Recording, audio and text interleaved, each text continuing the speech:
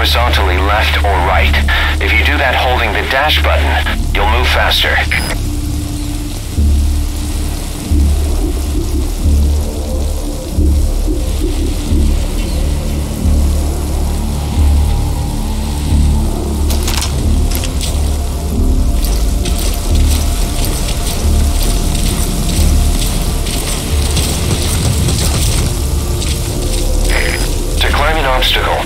Press the action button.